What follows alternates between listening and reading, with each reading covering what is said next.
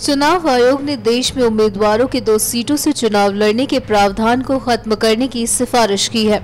चुनाव आयोग ने केंद्रीय कानून मंत्रालय को भेजे गए चुनाव सुधार के प्रस्तावों में ये सिफारिश की है। चुनाव आयोग ने इसके साथ ही और कई सुधारों की सिफारिश की है। चुनाव आयोग ने कहा है कि अगर सरकार इस प्रावधान को बनाए ही रखना चाहती है तो उपचुनाव का खर्च उठाने की ज़िम्मेदारी सीट छोड़ने वाले उम्मीदवार पर डाली जाए। विधानसभा और विधान परिषद के उपचुनाव के मामले में राशि पाँच लाख और लोकसभा उपचुनाव में राशि दस लाख होनी चाहिए। सरकार इसे समय समय पर बढ़ा सकती है। प्रत्याशी का सीट छोड़ना वोटरों से अन्याय के समान है।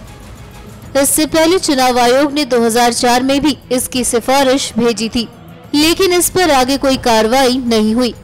उन्नीस सौ छियानवे में संसद में पारित हुए संशोधनों के अनुसार ये नियम बना दिया गया कि कोई भी उम्मीदवार एक साथ ज़्यादा से ज़्यादा दो सीटों से चुनाव लड़ पाएगा।